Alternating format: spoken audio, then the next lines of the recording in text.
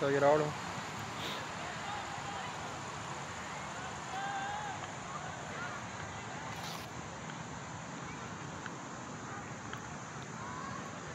Wait, man, check that out.